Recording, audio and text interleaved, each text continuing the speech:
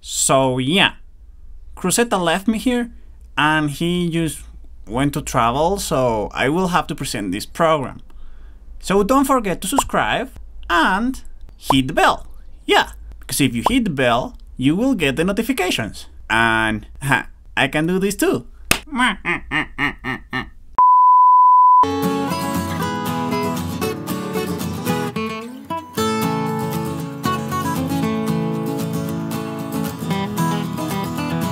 So we are here going to Plaza de Armas in Cusco, our first day. This is a small but really beautiful passage that we have to take in order to go there. You can fit just one car here and one person on the side. It's really small.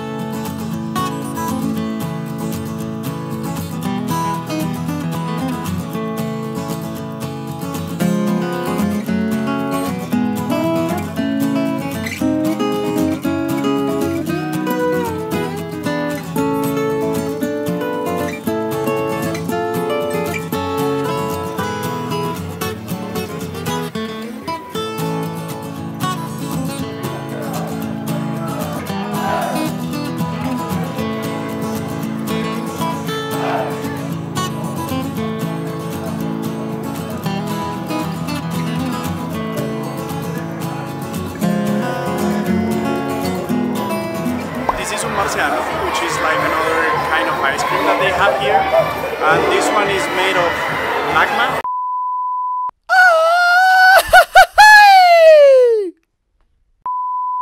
It's a fruit that I don't know, but I'm gonna try it.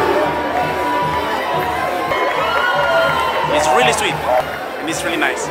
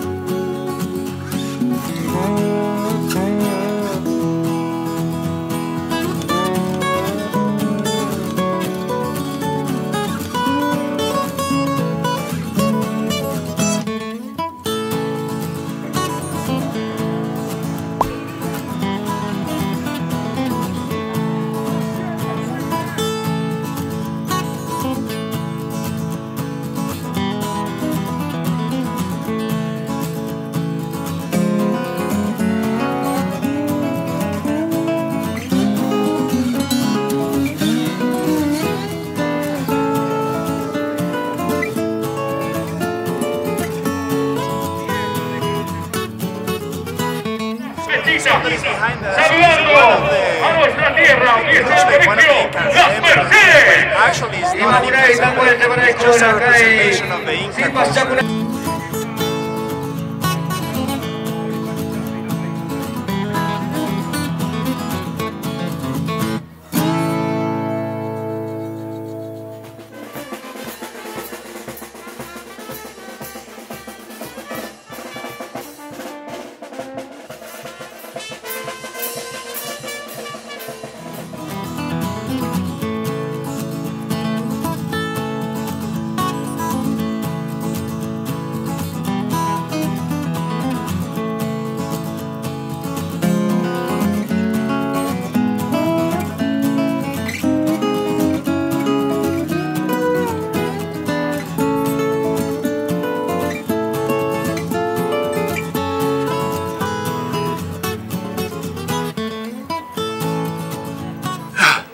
just found this traditional mask and it's great.